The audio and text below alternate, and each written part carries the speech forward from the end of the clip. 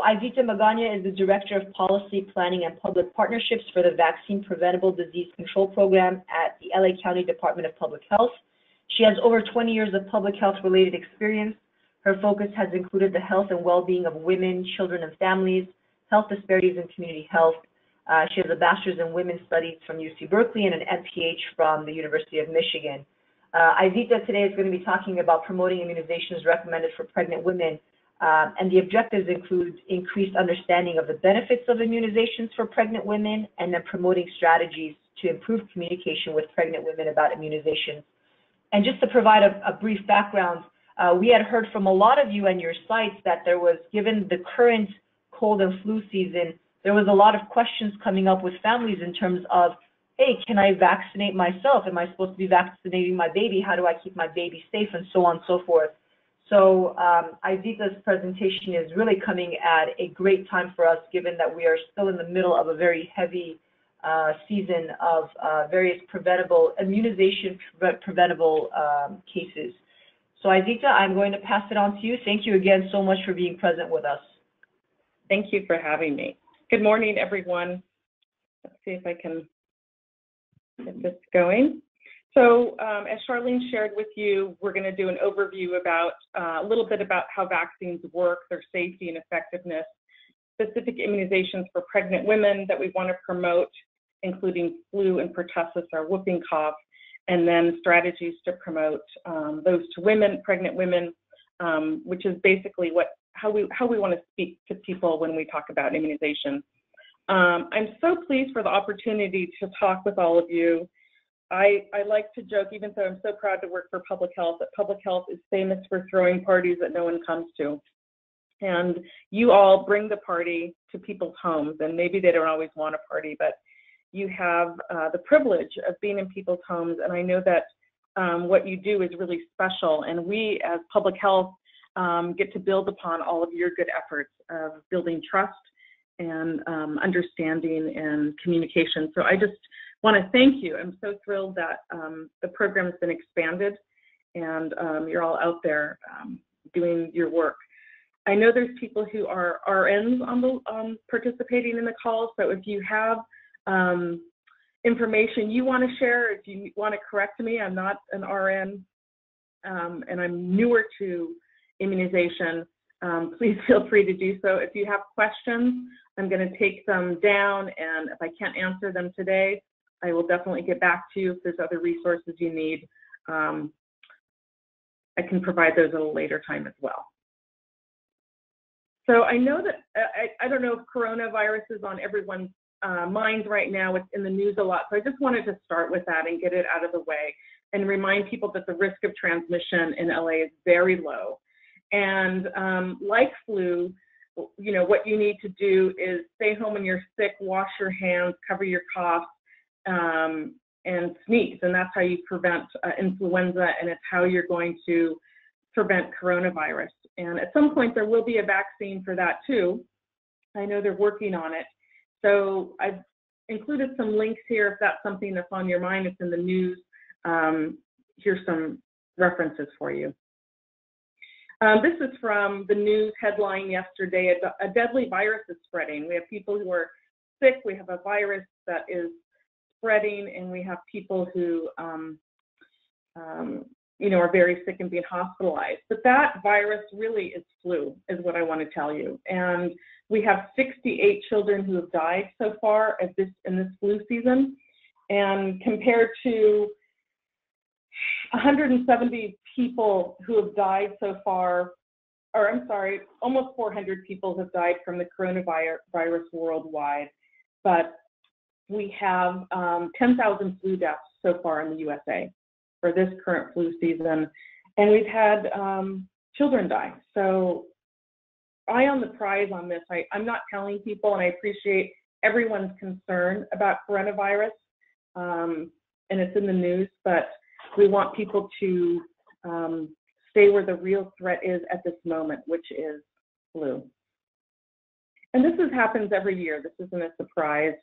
Um,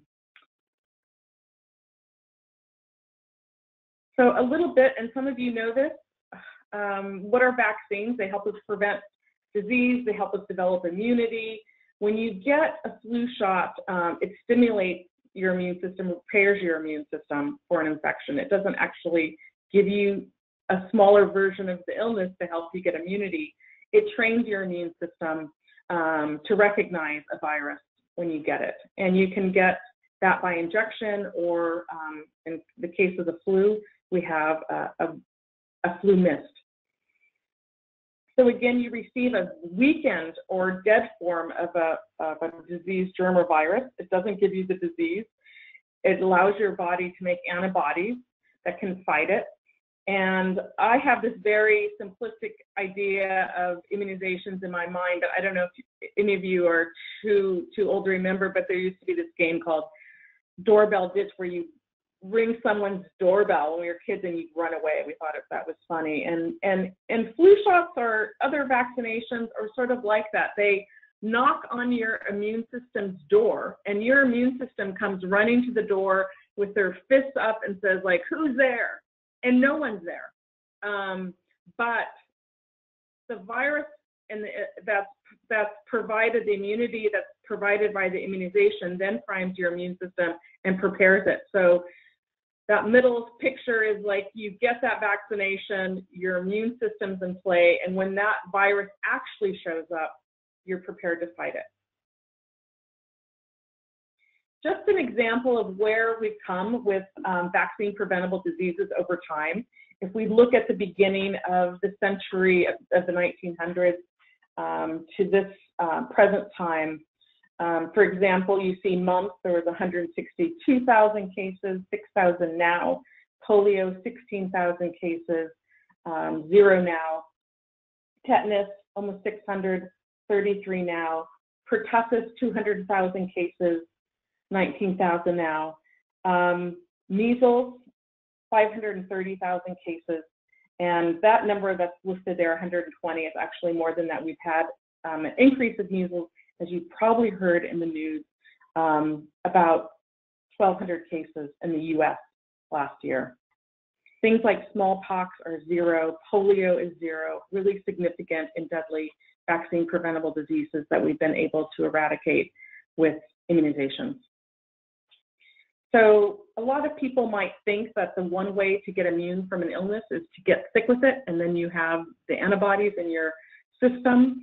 Um, that, that's called natural immunity. And of course, um, getting um, these diseases can be really, really um, dangerous, and they're also deadly. So you may not actually die of the flu, but it can really take down your immune system to the point where you are now vulnerable to secondary infections like pneumonia, if you're someone who has heart disease, you're more likely statistically, if you have flu, to have a heart attack um, soon after you've recovered from flu.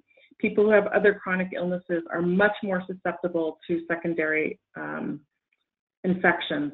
So depending on what the disease is, vaccines can be um, um, effective from 85 to 95 percent. It depends on what vaccine it is. It depends on what disease it is. It depends on how healthy you are.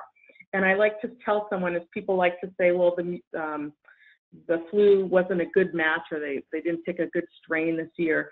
That some protection uh, protection is always better than no protection. People always have questions about side effects, and they're very very rare. When you get um, vaccines, you can expect some redness or swelling. Maybe your arm will feel a little bit hard. You might even have a mild fever, and that will go away within a few days. Again, immunizations don't give you the illness. When you have those symptoms, and I think I got a tetanus booster this year and um, a shingles vaccine, and I did feel like a little bit fevery and fluish. And if you have that experience yourself, know that that's a good sign. Your body, like someone did the the doorbell ditch, they knocked on the door, and your immune system said, What's going on? And they got ready to fight. And they got ready to fight, and they're preparing for the attack by creating antibodies. And so that does give you a little bit of a strain on your system, and you might feel it. But that just means you have a strong immune system that reacted um, to that knock on the door. So that um, discomfort is about preparing your um, your immune system's preparing for the actual virus if it ever arrives. And a little bit just about safety that the FDA has very stringent procedures and processes to develop and approve um, vaccines over time. And also how those vaccines and recommendations are developed. Um, there is a, a, lot of discussion, planning, science, research that goes in to any recommendation made by the Centers for Disease Control around a vaccination. And then we always continue to monitor those uh, vaccines. And there is a website where people can um, report any uh, reaction or side effect they consider related to the vaccine. Um, so we're uh, the CDC is always monitoring people's feedback as well. A little bit about um, immunity. Um, we call it herd immunity, and it's a very simple idea that um, if you have a lot of healthy people but they're not immunized and a virus comes through, then they are susceptible to getting sick. And if you have fewer people who are um, unimmunized, then the virus can't spread. Uh, we call it, it's called herd immunity, we call it community immunity.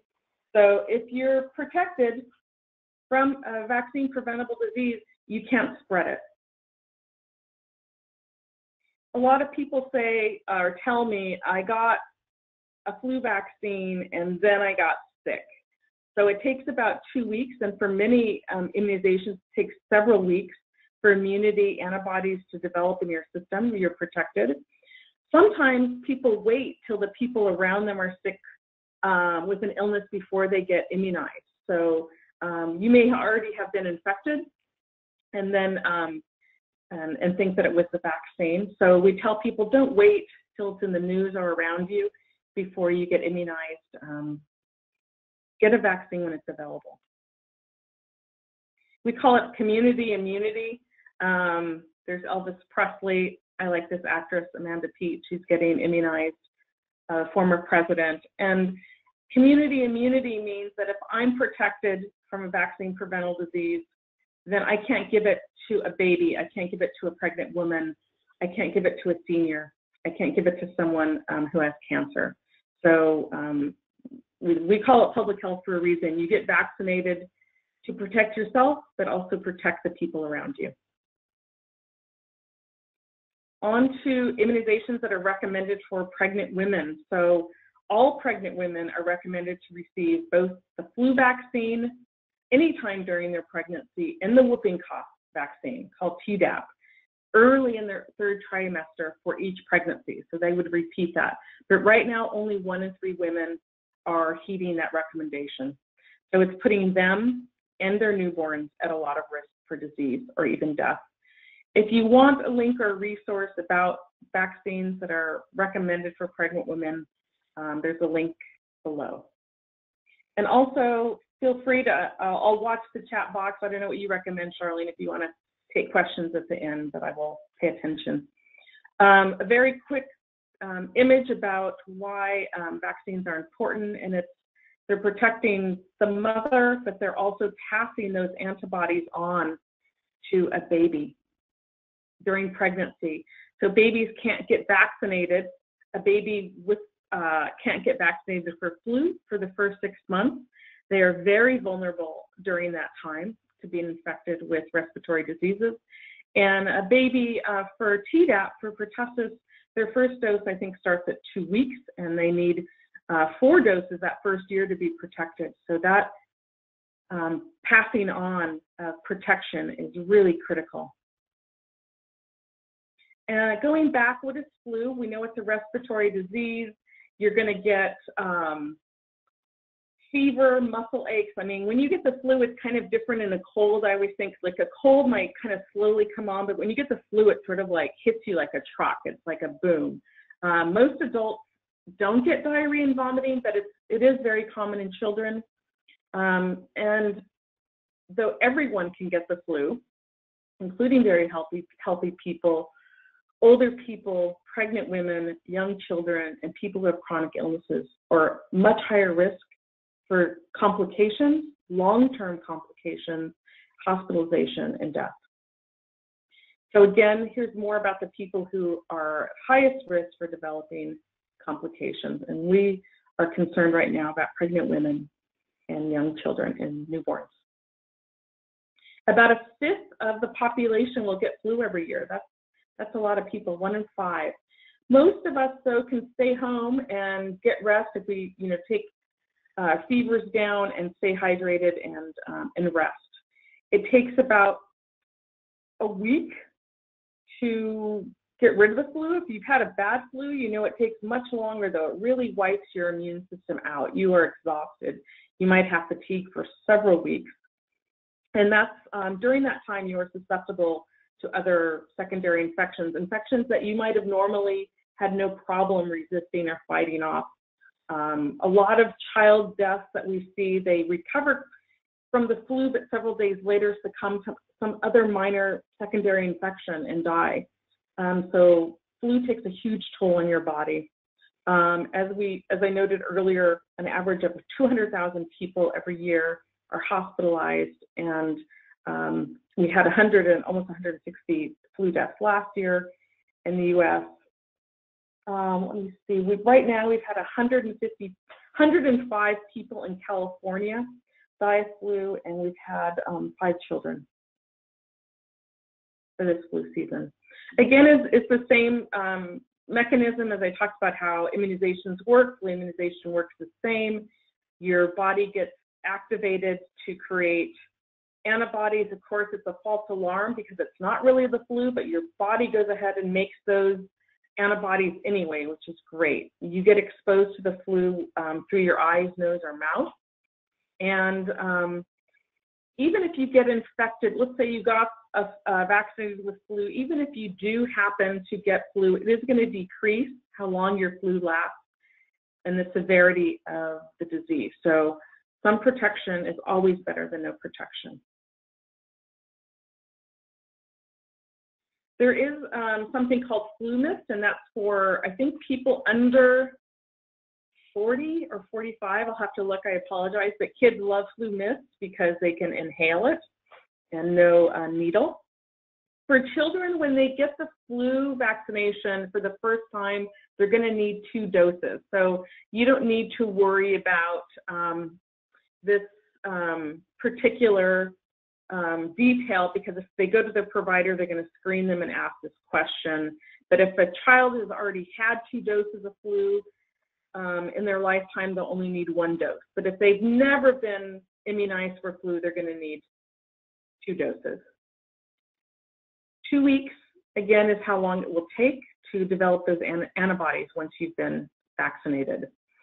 You know this, but flu is contagious. It's really contagious. And I think one of the things um, that uh, we're looking to see with the coronavirus is true of flu is that people can spread flu. You are contagious before you yourself have symptoms. So before a day or two or several days before you know you're sick, you can give flu to someone else. Um, you're the most contagious during the first uh, couple of days after you have symptoms, and you can uh, infect people for after a week. It's why we want people to stay home when they're sick. A lot of people have told me, I've never had a flu shot, I've never had the flu.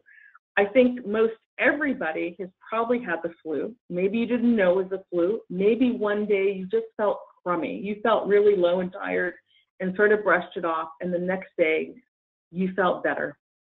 But during that time, you did have flu and you gave it to an old person, you gave it to a child, you gave it to a baby. So you get immunized for yourself and you get immunized for the people around you. So flu is difficult because you can infect people before you yourself have symptoms. Can I get vaccinated and still get the flu? Yes. No immunization is 100% effective. They're not a silver bullet. This goes back to that idea of community immunity. The less people who are who are sick, the fewer chances the virus has to spread. That's true of any vaccine preventable disease. But again, the flu will be will be less severe and will um, be shorter duration. Um, every year, they guess a very very informed, complicated guess about what strains of virus should go into a flu vaccine. What's tricky about flu and why we keep having to get flu immunizations every year is because the virus is always shift, always mutating, always changing. So they look at those parts of the country in Australia when it's their summer, it's our winter, our winter, their summer, and they look during their flu season for those parts of the world who get flu before we do. They see what's circulating. The top experts, the Centers for the Disease Control, the World Health Organization, who's like the CDC, but for the world, and they all get together and they have conversations and, and evaluate what strains are circulating and they um, put those into the vaccine. And sometimes they get it right and sometimes they don't because again, the, the virus is always shifting, but it will um, provide you some protection. There's a lot of myths always about flu vaccines. Again, and this is um, hopefully something that you'll feel comfortable responding to people when they when they share these with you. So common, you can get the flu from flu immunizations. Um, no, the vaccine does not replicate. Um, it can't replicate in your body. Even if it's a weakened virus, the whole the virus has many parts. The part they put in there, it needs the other parts to replicate. It can't replicate, so you cannot get the flu from a flu vaccine. The flu is just a bad cold. No, we we as we discussed earlier, it, a lot of people die every year from the flu. Uh, and causes thousands of hospitalizations. I just read yesterday about a teenage girl didn't feel good. They thought she had a bad cold. This was, I want to say Kentucky. Um, she got sick on December 23rd. She thought she had a bad cold. Um, she didn't get better. She had problems breathing. They took her to the hospital. They did a chest x ray. It looked okay. She did some selfies. She was like, she had a nasal cannula that she felt good enough to um, take pictures and talk to friends. And I think within three days, she had died and she was vulnerable after her flu to another um, bacteria, which was pneumonia, and she passed away. So you see very healthy people, unfortunately, um, succumbing to flu every season. It's painful as a public health person to see that in small children as well. Um, people say flu immunizations don't work. The vaccine does vary every year, but again, some protection is better than none. Why is flu immunization so important for pregnant women? We already, uh, I already showed that it's it's more likely to cause severe illness in pregnant women, and the reason for that is is that when a woman is pregnant, when a person is pregnant, your immune system is a little bit suppressed, so that you won't miscarry the pregnancy, and um, you are having great changes to your immune system, your heart and lungs. Um, and there's also, as the pregnancy grows, there's, you know, women may have more difficulty breathing, so you have less lung capacity, but there are changes that make women more susceptible to severe illness from the flu. They're more than twice as likely to be hospitalized if they're pregnant. That's really significant. And they're more um, at increased risk for really serious complications when they get sick, including pneumonia and dehydration and even preterm labor. Uh, and finally, fever, which is really common with the flu, and it's one of the signs that you probably have flu, um, can be damaging to the baby and, call, and cause birth defects. So prevention is where we want to be with flu. And um, how safe are they? They've been given to millions of women over time. Um, flu uh, vaccines no longer have thimerosal, which is a mercury preservative. Um, vaccine, flu vaccine is safe for breastfeeding women, and the CDC again recommends that every woman get a flu um, vaccine during any trimester, trimester anytime during her pregnancy. Protects her and her baby from flu. Charlene, how am I doing with time? I have a million slides, but I'm just, am I doing okay here? Okay. You are totally, Um, doing totally fine, okay, okay, great. Um, folks. were, Questions? if you go, Type it box.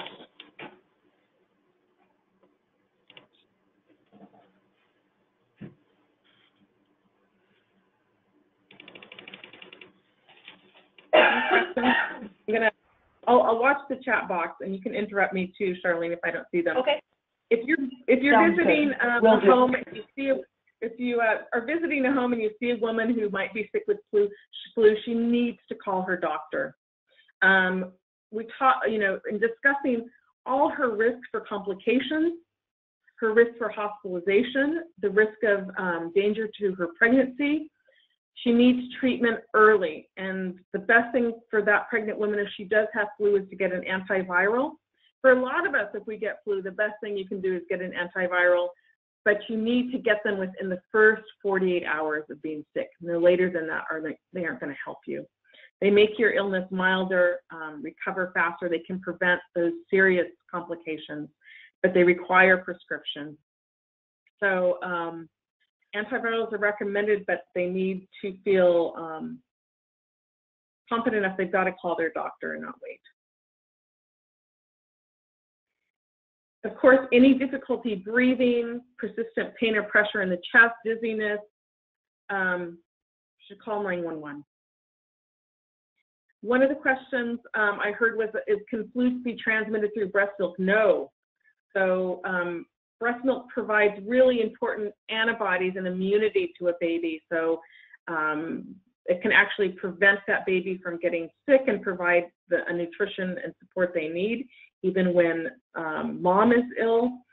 So if she's too sick, um, they CDC recommends that she pump her breast. Um, women should always wash their hands if they have flu, and they may need additional um, lactation support, and that's probably something you have resources or recommendations for. Infants who have the flu, can they continue to breastfeed? It's possible, yes. Again, it's the best type of antibody support and protection that a baby can get is from breast milk.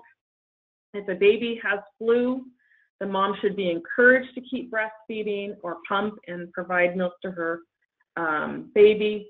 They need to stay hydrated. Being hydrated when you have flu is so critical for adults, but super critical for infants. So um, breast milk is best. And um, again, it can be given through cup or syringe. There's a link at the bottom of the page for um, for more on more information on that.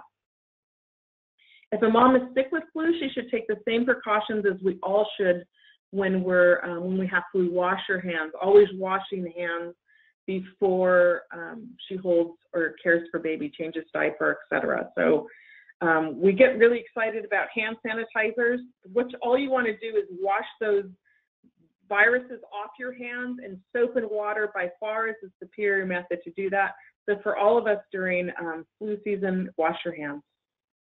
And if possible, again, um, covering our cough, coughing into our elbows, not shaking hands, um, not touching your face a lot, which can bring virus to your face, or rubbing your eyes. To reiterate, uh, flu vaccination is the best protection against flu. It lowers her risk of, of hospitalization by 40% if she's been vaccinated for flu. Babies who have the highest risk for hospitalization uh, reduce their risk of, by 72% of being hospitalized. And not just the mom needs to be immunized, everybody who might be around that baby in a very close way, other people live in the house and friends and um, relatives or caretakers also need to get an immunization for flu. Avoid touching your eyes, your nose, your mouth. Cover your coughs and your sneezes. Stay home if you're sick. Uh, try to avoid contact with people who are sick. Wash your hands. Um, get the flu vaccine. And here's a link for more resources and flyers and posters that relate to different aspects of the community, but we have a section on there for pregnant women as well, messaging. I'm going to um, switch over to pertussis now, also called um, cause, excuse me, called whooping cough. It's a highly respiratory disease. For some reason, um, we have waves of infection for pertussis. Every four years, it seems like we have a much worse outbreak. Um, it can affect everyone, but for babies, it's deadly. And I think those are the only people who end up uh, succumbing to uh, pertussis or whooping cough are, are very young babies. Um, of course, the best way to protect against uh, a newborn being infected is if the mom's immunized, and the baby can start being immunized for whooping cough at two months, and they'll get several doses over that first year. Pertussis is known for that uncontrollable cough. So if you enter a home, I'm going to play you the cough, and maybe you are familiar with it, but just it's it's disturbing, but it's something to be aware of because if a baby is, coughing like that, they need immediate attention. Okay, I'm seeing if I can. Sorry about that.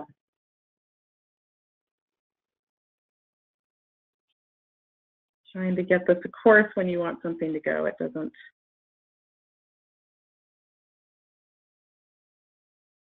I might have an advertisement at the beginning. Let's see if we can get this. Sorry, thanks for your patience. All right, sorry. We have to wait for the commercial.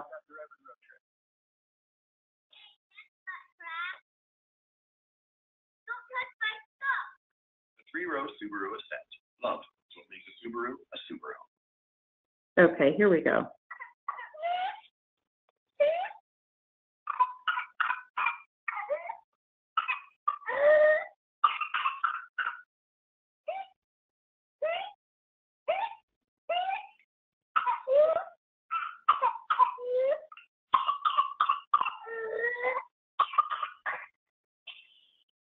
So you can hear the whoop, and it's why they call it whooping cough. So if you enter a home and a child has that type of cough or you hear that whooping sound, they need immediate care. It can be very serious and deadly for a newborn. And they're having a hard time breathing. That coughing really makes it difficult to breathe. I have a link to that whooping sound here. All pregnant women should get a vaccine for pertussis in their third trimester. It's called Tdap and every subsequent pregnancy they need to get a booster. So every pregnancy they'll get a, another dose of this. Um, immunity for pertussis from that vaccine wanes. It means it goes down over time. And children now in school are required to have another booster um, in um, the seventh grade, I believe.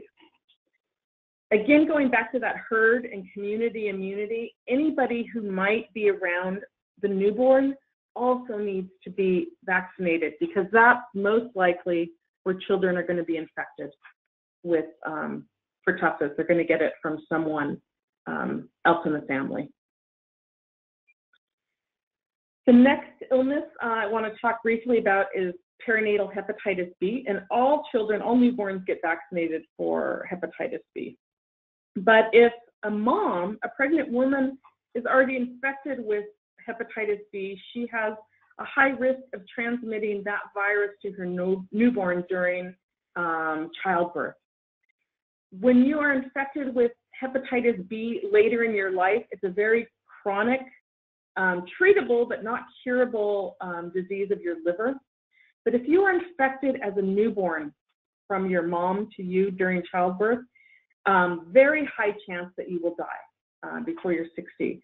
So there is a vaccine that all newborns get, but there is a special, what we call a prophylaxis, a preventive measure for newborns. So we have, um, and in certain countries in the world, uh, hepatitis B is more prevalent. And so um, all women, it, all women are screened for uh, hepatitis B when they get prenatal care. Uh, and we follow up with each uh, positive result we get at the Department of Public Health. But it would be so helpful. Every baby gets a prophylaxis when they're born, and then they have to get a series of vaccines after birth to make sure they are completely protected. And so um, I just want to, uh, and that's something that we will follow up with all women, but I wanted all of you to have information. We have a lot of great materials on our website. Um, and so I've included links to them here so you can learn more about this um, disease. I mean, preventing it is so critical. Measles. So if, um, and I, I think a lot of us have heard about the increase of measles. We had very few cases several years ago, but we've had a resurgence. This is not going to go away. We have, um, I think, what did I say earlier? How many measles cases we had? We had in, in uh, 2017, we had 120 cases, and it went up to 1,200. There are half a million um, cases worldwide of measles. It is circulating right now. There are plenty of places uh, where measles exist, and people who travel are at particular vulnerability for being infected. A baby can't get vaccinated for measles um, usually until their first year. Women, when they're pregnant, there's a very, very small risk for complications if they get a measles vaccination called an MMR. It's a combination of measles, mumps, and rubella. So we encourage women who are considering pregnancy or in between pregnancies, if they need a booster, if they've only had two doses, they might need three. It has to be 28 days before um, conception, before they're pregnant. So something you might want to recommend and remind women. Um, and here's some links and some flyers, uh, information for the public. Uh, measles, I don't think is going to go away. I think we're going to keep seeing it, and and most people um, who've gotten measles in the U.S. were not vaccinated. Um, but no vaccine is 100%. So people who were vaccinated with measles here also got sick. If you have a family who's traveling outside of the country and they have a baby under 12 months years, uh, 12 months old of age, they should get an early dose of the MMR. So I put information here Usually they get their first dose at 12 months, but if they're going to be traveling somewhere where there might be measles, they should get an early dose. So if you hear those plans, um, be aware of what the recommendations are. I want to switch to speaking about vaccine hesitancy. The World Health Organization has brought it to our attention that all these things that are so um, uh, the top threats to our health Ebola, HIV, climate change, but including um, now is vaccine hesitancy. And vaccine hesitancy means that you are postponing or rejecting or refusing immunization. Why we've seen an increase in people who don't want to be vaccinated is because it's kind of a, a catch-22. We haven't seen a lot of these diseases in a long time. We haven't seen smallpox. If you've ever happened to see smallpox or polio, um, you're going to remember to get vaccinated, but we haven't seen these diseases. There's more distrust. People are more concerned about their own health, maybe, than for the health of other people. There's so much information and a lot of information, misinformation, information confusing, sometimes not always easy to pay for and find, and then just a lot of pressure in your own community. You're more likely to do what uh, the people you know and trust do A lot of attitudes and beliefs about why people don't want to be vaccinated, thinking it's better to get sick than get a vaccine. They don't work, the diseases aren't that bad, um, so that there aren't good benefits. A lot of different beliefs. I go back to this idea that when we're vaccinated against a disease, we're holding up the door. Us well people, all of us who are able, some people can't get vaccinated. Small babies can't get vaccinated. People who might have chronic illnesses may not be able to get, uh, with cancer, may not be able to get immunized. So we hold the door, we create safety, we create immunity in our communities by being vaccinated. And when you choose not to be vaccinated, you're putting everybody else at risk. It's like you're you're one of these people holding up the door and you're walking away and letting the other people hold up the door. Um, and when we hold the door, we're protecting again, we're creating a circle of protection around pregnant women, around seniors, around people who might have a compromised, compromised immune system, and, and of course, newborns.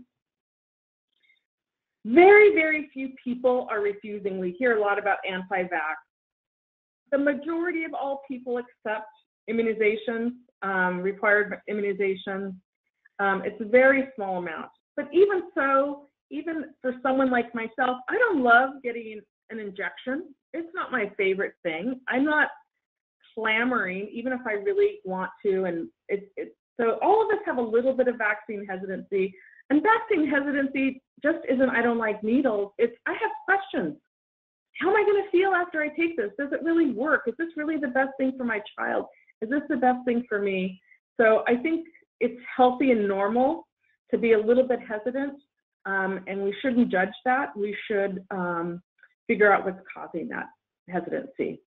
A lot of, I'm not going to go way into this study, but a lot of times we just think people just need to understand, they just need more information. And in this particular study just showed that getting a lot of information, whether scaring people, showing graphic images, more um, stories, it didn't change um, what people thought about um, immunization.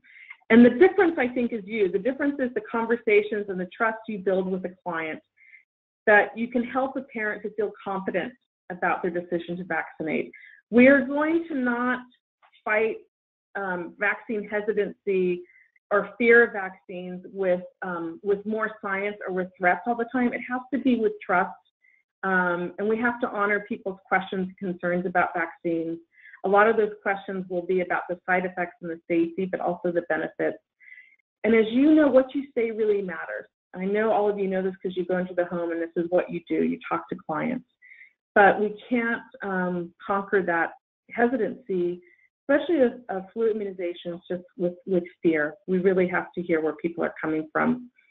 Um, and the woman who um, is the head, the director of the CDC of uh, immunization and respiratory diseases, her name's Nancy Messonnier. I really like her, and she's overseeing the coronavirus outbreak at the CDC right now. But her quote is, "We need to emphasize the strong science that validates potentially life-saving benefits of immunization, but combine it with patience and empathy. And I know that's what you all do every day, allowing people to share their concerns and questions in a, in a professional and respectful manner. Um, a lot of mistakes, and I know I'm guilty of this because I'm frustrated with people who may not want to get vaccinated. I I need to show them that they're wrong and I'm right. Um, I assume that they're going to understand what I'm talking about I give them too much information or I'm, I'm, I'm sharing information they may not even want. Um, you know, all know this too. It's, uh, you know, honey gets the bee and it's much more productive um, to, for communication, to have communication that is respectful and collaborative, that's empathetic versus shaming or scaring. And these are the aspects I just want to uh, emphasize, ask and listen, acknowledge, empathy, respect, dispelling myths, using personal stories, key messages, be informed, provide information. Questions that the family have are going to be critical too. I, I think pregnant women now are under more pressure than ever from their families because they themselves might have read something on the internet or their family. You know they're afraid. People are like you would i would never get a i would never get an immunization. I would never get a flu vaccination if i was pregnant. Um, so they have a lot of pressure and questions and um, so i think it's important to ask if they have hesitancy and to listen about what their uh, let them share what their concerns are and to acknowledge that this is difficult they're pregnant a lot of strong emotions and fears it's a difficult decision again, that empathy and respect. And this is a thing that I want to think of all people who are trying to improve their health and the health of their families. We always assume that pregnant women are attempting to make the best decisions for themselves in their in their um, pregnancy. Sometimes pregnant women are afraid more of doing something wrong than in doing something right. So um, immunization seems like a scary choice for them sometimes, but they do want what's best for themselves and maybe they're not ready for that um, immunization recommendation for a flu, but in, in developing trust with you, they're more ready. When you have the opportunity, if people share these ideas with you that they're not safe, that if they, they heard about some vitamin, that these diseases aren't so bad, that the vaccine actually gives you the flu, that you yourselves will feel confident and proactive about dispelling those myths. I'd like to use personal stories. I got vaccinated I think vaccines are the best choice for me. Um, I believe in protecting everyone. I was afraid of the pain of the needle, or I was afraid of the pain of the needle for my child, but it wasn't that bad. And now I know I'm protected. I know they're protected. I got the flu vaccine and I didn't get the flu. So personal stories um, go a long way, I think. Having key messages um, that you can repeat. I can help you get information. I understand that it's difficult. Um, the best way to prevent these diseases is, to get an immunization. Stay informed, find out what's going on. There's the CDC newsroom, maybe it's like too much TMI. We have an LA HAN, which is an alert, uh, health alert where you can subscribe to these and get information about what's happening, but be alert about what's happening. It affects you, it, it um, impacts your clients. Provide information on, I gave a link to our um, webpage. We have a, uh, for all people who are under or uninsured, um, what vaccines are available at our clinics. There's also the vaccine finder. Um, you can call 211 and find um, a source of immunization for them. Most of the questions, again, are about safety and benefits, and CDC has a toolkit. It's really aimed towards health providers. Um, I consider you all in that category because you go in the home. So having conversations with parents about immunization. To learn more about immunization, here's a couple of links. I really like immunize.org. They have some great resources. Get immunize.ca, which is the Department of Public Health in California, the CDC, and then our website has all kinds of flyers in, in multiple languages available. And here is my contact information and uh, the website for public health and uh, the Vaccine Preventable Disease Control Program. And that's our direct line if you have questions about immunizations. Thanks for your time. If you have questions, um, hope I, hopefully I can answer them. Aizita, thank you so much for your presentation. We have a couple of uh, comments in the chat box. Uh, one of our home visitors, our parent coach supervisors mentioned that as a home visitor, we usually hear that babies could get autism. I think this was in relation to uh, the concerns that can come up uh, regarding vaccines. Uh, another question that we had is, uh, is it okay for a person to get the MMR vaccine twice if they do not remember if they got it as a child or teen? Would there be any side effects? I'll start with that one. Absolutely, there will be no side effects. A lot of times people prefer, and sometimes health insurance, I know Kaiser, will actually test your immunity. The result is called your titer, like what are your titers, to see how much immunity you have in your system for a particular um, disease. Um, I was born during a year when the measles vaccine wasn't that effective, so I got additional dose. I know I had two, but I got another. It's never going to hurt you. Um, so, especially if you're doing international travel, and you're not sure what your titers are, if you are born after 1970 um, and you know you got two doses, you are certainly covered for um, measles. But if you're not sure that you got two doses, then absolutely you can go to your healthcare provider or your pharmacy um, and get an additional dose. It won't it won't help you. If you're looking to see um, which vaccines, I see some, someone asked which vaccines are mandatory. You can go to the CDC website. They have a full schedule there. You can go to the public, uh, the link on the public health page. You can email me. But, um, you know, school requirements are getting um, more comprehensive. So um, there's going to be, if, kids are going to participate in public school, um, private or religious um, schools, besides being homeschooled, they will be required to get um, comprehensive. And the medical exemptions that are available now are going to get more stringent.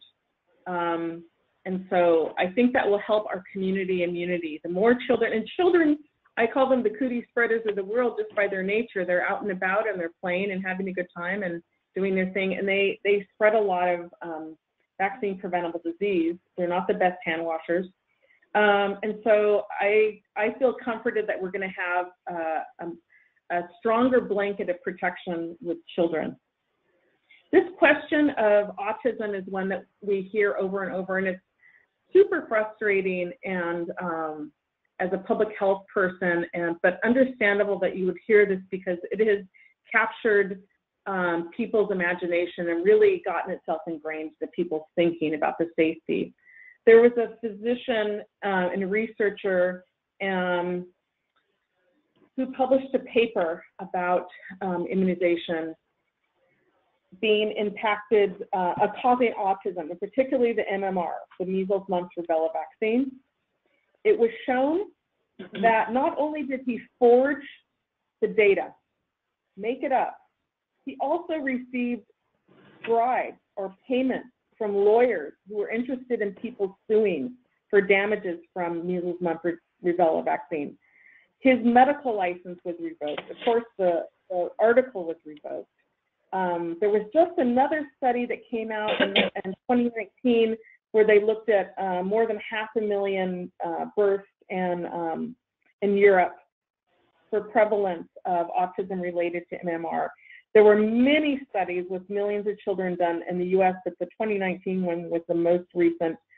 There's never been any association uh, made with autism and vaccination. None whatsoever. So I appreciate the question. The, the, the, the word was spread um, quite and through celebrity and through media, um, but there's absolutely been zero link for autism um, immunization.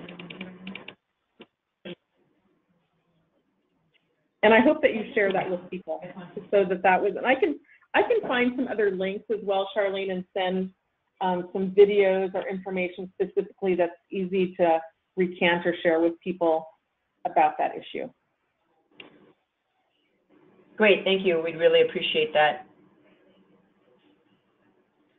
We definitely still have uh, a couple of minutes for questions. So if you have uh, any questions or feedback, please go ahead and type it into the chat box. Uh, we will share Aizita's uh, presentation, uh, the PowerPoint, along with the recording as well uh, after this call. So you'll, as, as usual, you'll get a, an email from us with all this information and the references. If you have questions uh, that you think of later, feel free to email me directly. I'm happy to answer, or if you're looking for specific resources uh, for your visit, um, let me know as well.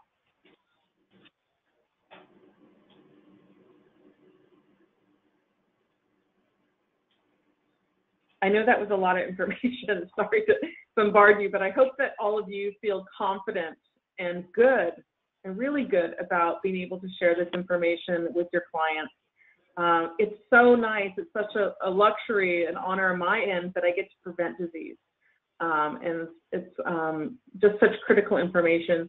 And you yourselves, you know, I hope that you will consider um, addressing your own hesitancy when it comes to either vaccine for flu or whatever it might be, and knowing that you are um, in contact with really vulnerable populations and that um, in protecting yourself, you protect your clients.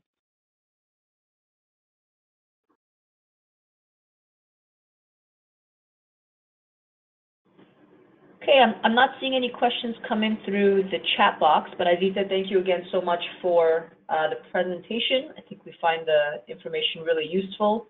Um, and we know it's uh, it's ever changing as well. In every every season we have, there's updates. So we'll definitely make sure to utilize these resources that you've sent. And thank you for being available for questions as well. Uh, we'll be sure Great. to share thank this you, contact Charlene. information